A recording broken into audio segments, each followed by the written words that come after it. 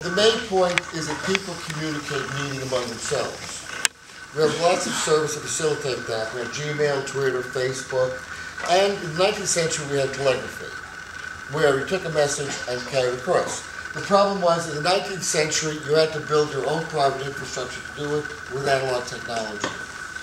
Bits have now allowed us to separate the meaning, the message, and the meaning of the message from the actual information exchange. And the new idea is that we can have a commons, a single medium in which all these messages, the meaning can be exchanged, and we can do it using devices on our behalf. And not, not only do we have people communicating, we have devices communicating, but all they're doing is exchanging bits without meaning, which is completely different than, than the horseless carriage term, uh, te- telephony. So what we need, so the big idea is that we have, uh, get out what I call a bit commons. Now, the problem is, you don't fund the commons by selling individual things any more than you build a bridge by having people put brick, uh, individual profitable bricks in place.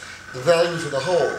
So we have to do what we did with roads and what we did like the subway in New York and things, where you have to fund them as, as infrastructure and pay for abundance rather than have a system where the only way to keep value is by keeping scarcity. So the key idea then is we shift the funding model to doing as infrastructure, which is remarkably cheap. The only cost in telecom now is billing. That's why we have redundant infrastructure. So once we shift to that model, we then we then have every all the Moore's law type effects, so it's hypergrowth. And we're back about 1970 in terms of our ability to connect. That every copper wire can run gigabits. The other key idea is that networks are a service; they're not fundamental. What's fundamental is copper, fiber, radios. And those can be operated locally as facilities to facilitate communicating. And rather than railroad model, which comes back to the days of telegraphy, we need a road model where each router is like a corner sign. You can send your package on the post office off in this direction just by reading the signs along the way. Remember, we created a road system by taking roads and just labeling them with a number. We didn't build a road system. So let's go with the idea of a physical infrastructure, operate locally, we operate our home networks, it's not a network, it's just copper and radios we use. And we expand that idea out, we're owners, this is the positive part, we have shared property in that we don't have to pay to use the copper, it's been paid for, and we discover abundance. Um, and the key thing is to shift the funding model to common infrastructure, and the rest follows. And the internet was a lesson, is not a thing. It simply says, if we remove the cost of connecting bits, magic happens. Now let's throw away the internet except to mulch it, and let's now start connecting from the edge. Awesome. Bravo. I think we might be getting somewhere to deglazing the essence of uh, Frankston's message. That- That's the round one, baby. Yeah, exactly. So uh, Bo, then uh, JP. I exchanged with Sheldon and then me.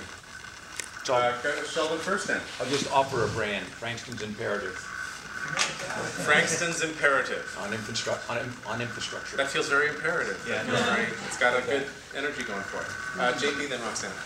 Oh, sorry. Bo, then JP, then Roxanne. Uh, this isn't a question, it's, uh, I would say people communicate and create meaning.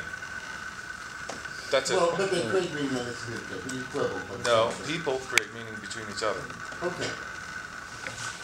Groovy. JP. One of the things that, I mean, I've- I've spent quite a lot of time with you, Bob, talking this through. The, the thing that concerns me the most right now is as we make these environments horizontal, as soon as you make one layer neutral to all, the right of monopoly shifts to a new layer. Yes.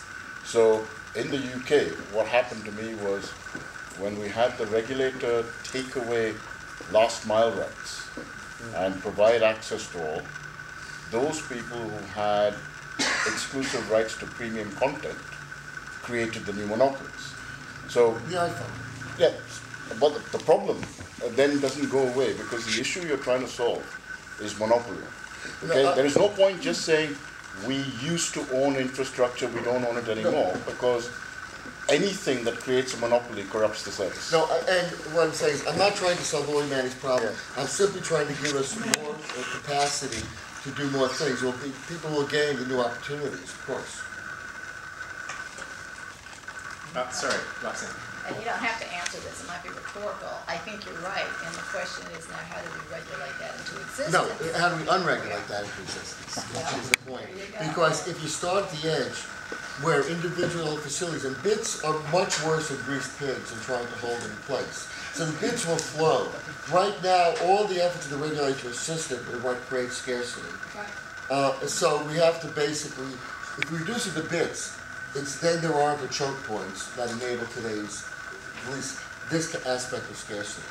So you creep in from the edge? Yes, you start to interconnect systems and bits will flow. It's very hard to prevent them from once we reduce the bits. If it's meaningful information, it's easy to prevent it from flowing. You have ownership, you you create these types.